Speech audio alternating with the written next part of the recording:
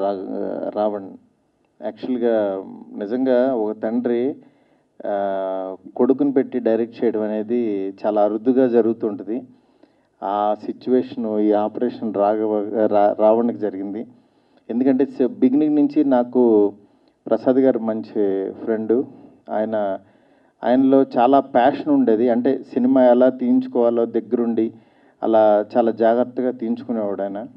పలాస కానీ అంతకుముందు లండన్ బాబులు కానీ అట్లాంటి దీంట్లో ఒకరోజు సడన్గా ఫోన్ చేసి యాక్చువల్గా ఇట్లా ఒక కథ ఒకటి రాశాను నేనే డైరెక్ట్ చేద్దాం అనుకున్నాను అన్నారు. నేను కూడా సర్ప్రైజ్ అయ్యాను కానీ దాని తర్వాత టీజర్ తీసుకొచ్చి చూపించారు. నిజంగానే చాలా ప్రామిసింగ్గా ఉంది. అంటే ఎక్కడా కూడా అంటే ఒక కథని నమ్మి సినిమా తీసినట్టు చాలా క్లారిటీగా తెలుస్తుంది. ఎక్కడ అంటే ఓన్లీ కథ మీదే బేస్ అయి తీసినట్టు.